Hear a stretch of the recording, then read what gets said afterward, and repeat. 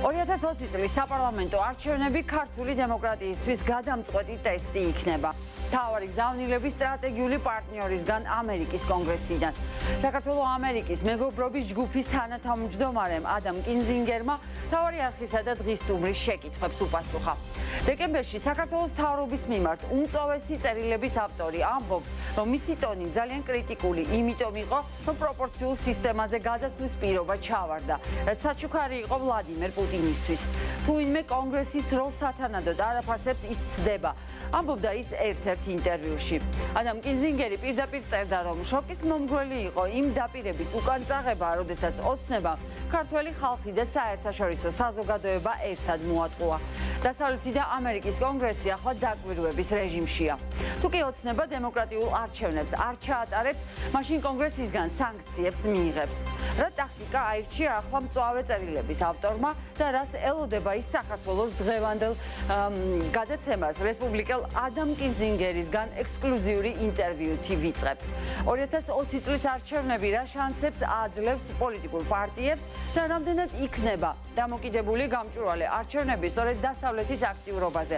ამის შესახებ აქ სტუდიაში ნაციონალური მოძრაობის ერთ-ერთ აქტიურ წევრთან, სალომე სამადაშვილთან და კიდევ ერთ რესპუბლიკელთან, დავით ბერძენიშვილთან ვისაუბრებთ. ეს არის ток-შოუ დღის სტუმარი, მე ნათია გოგსაძე ვარ და გთავაზობთ ადამ კინზინგერის თავარ გზავნილებს, რომელიც მისი დიპლომატიური პასუხებისა და მეგობრული ტონის მიუხედავად კარგად იკითხება.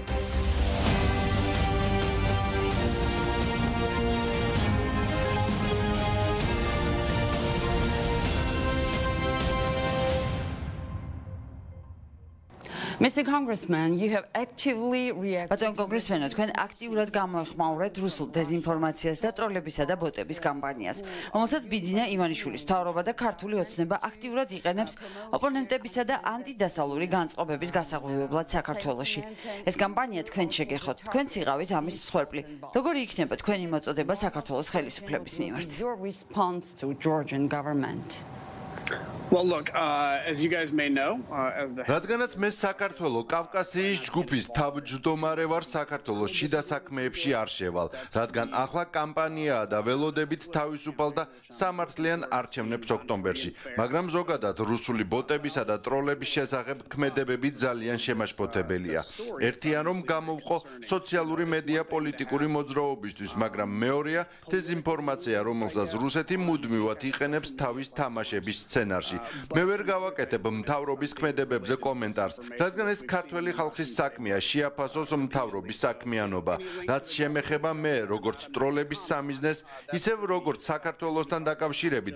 ზოგადად ამ ტიპის შეტევები არაერთხელ მინახავს რუსეთის მხრიდან.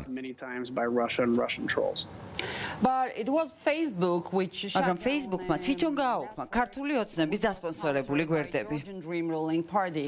Yeah, well look, uh, again, I მე ვერ გავაკეთებ ამ საკითხზე კომენტარს. ეს ქართველი ხალხის საქმეა. ეს რუსული დეზინფორმაციის მანქანა, რომელსაც ჩვენ უნდა დაუპირისპირდეთ. Information needs to be pushed back on. Mm. Thank you. და ხომ თავარი პოლიტიკური თემა, რომ ამარტის შეთანხმება შესრულებულია. მაგრამ გიორგი რურუა ჩვენი არხის ფლობელი ისევ ციხეში რჩება. მის ძინაამდე ევროპასა და ამერიკაში ოცნებამ დიდი კამპანია წამოიწყო. ამის მიუხედავად ის სენატორ რიშის ცვლილებათა პროექტში მოხვდა. როგორია თქვენი პოზიცია? უნდა გათავისუფლდეს თუ არა პოლიტპატიმარი რურუა? რაც შეეხება 8 მარტის შეთანხმებას, მე არაერთხელ მithქვამს, რომ ის უნდა შესრულდეს. ჩვენ ფოკუსირებული ვართ ოქტომბრის არჩევნებზე, რომ ქართულმა ხალხმა საკუთარი ნების გამოხატვა შეძლოს. როგორი განცხადებაც არ უნდა გავაკეთო, ყველა მხრიდან ხდება ინტერპრეტაციის საგანი. ამიტომ ძალიან ვფრთხილობ, ახლა მთავარია ხალხი მივიდეს არჩევნებზე და მე დაინტერესებული ვარ, რომ ეს არჩევნები იყოს თავისუფალი, სამართლიანი და რომ ხალხის ნება აღსრულდეს, რაც იმის საფუძველი პირველი იქნება რომ ამერიკისა და საქართველოს ურთიერთობები გაგრძელდეს რადგან შეერთებული შტატებისთვის საქართველო ძალიან მნიშვნელოვანია Thank you. United ახლა სანქციების თემა. შეერთებული შტატები აპირებს საქართველოსთვის 115 მილიონიანი დახმარებიდან 15%-ის გაყინვას. იმ შემთხვევაში, თუ კი ხელისუფლება დემოკრატიისკენ უკუსლას არ შეაჩერებს. არის თუ არა ეს არჩევნებზე მიმული sakითხი და უფრო მეტად პოლიტიკური სანქცია ვიდრე ფინანსური. You know, it's I think there's a message that the ფიქრობ ცვლილებების ავტორებმა მესიჯი წამოწიეს. მე არ ვაპირებ ახლა ამაში ჩაღრმავებას, რადგან ჩემი როგორც მეგობრის ჯგუფის ხელმძღვანელის უნიკალური როლი არის ის, რომ ორი ქვეყნის მეგობრობას და დემოკრატიის გაძლიერებას შეუწყო ხელი. მე არ ვიცი რა ფორმულირებით შევაესწრილება საბოლოო დოკუმენტში და რა შეფასებები ექნება სახელმწიფო დეპარტამენტის მხრიდან, მაგრამ მთავარი ხაზი არის ის, რომ კრიტიკა, რომელიც მოდის შეერთებული შტატებიდან, იმას კი არ ნიშნავს, რომ ჩვენ არ მოგწონს საქართველოს. ჩვენ გვინდა რომ ის უკეთესი გახდეს.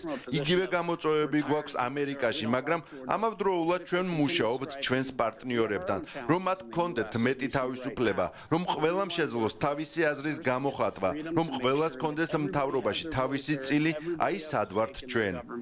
And that's where we're at. და მაინც რას ნიშნავს ეს სანქცია? ყვითელ ბარათს პენალტის მოლოდინში?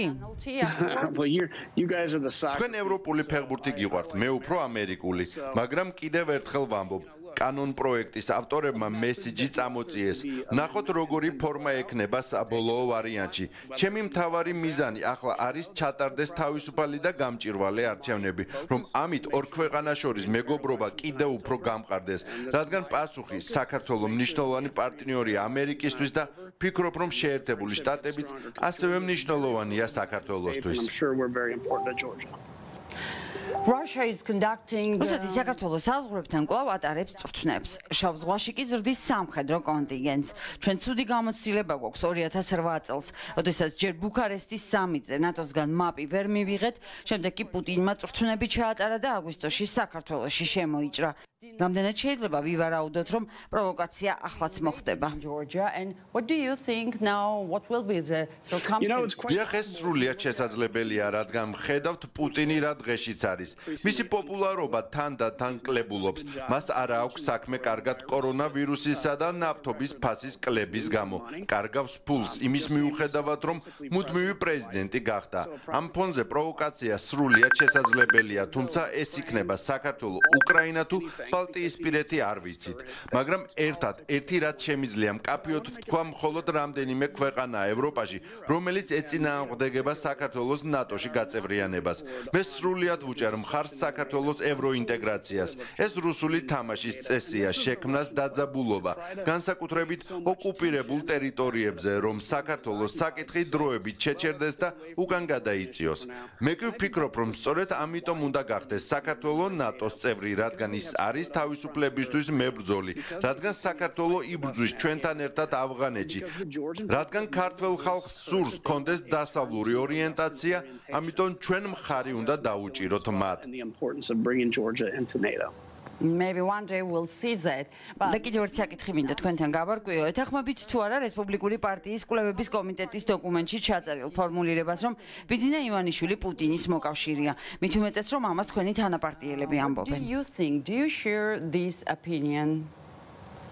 So well look again დიახ კიდევ ერთხელ ვამბობ მე რომ არ ვიყო საქართველოს კავკასიის მეგობრობის ჯგუფის თავმჯდომარე ჩემი განცხადებების ხვანაერი იქნებოდა მაგრამ ამ ეტაპზე ჩემი მთავარი ფოკუსია რომ ოქტომბერში ჩატარდეს ხალხის ნების გამომხატველი არჩევნები მე ძალიან იმედგაცრუებული ვიყავი ანაკლიის სპორტის პროექტის ჩაშლით და მაინც მოუწოდებ და ვიმედოვნებ რომ მას კარგი მომავალი ექნება და იქ არ განხორციელდება რუსული ინვესტიცია რადგან რადგან ეს გეოპოლიტიკის საკითხია. ჩვენ გვესმის საქართველოს მნიშვნელობა. Thank you Mr Congressman. თქვენ დღეს მართლაც ფრთხილობთ. წერილებში გაცილებით უფრო მკაცრი და ხისტი ტონი გქონდათ.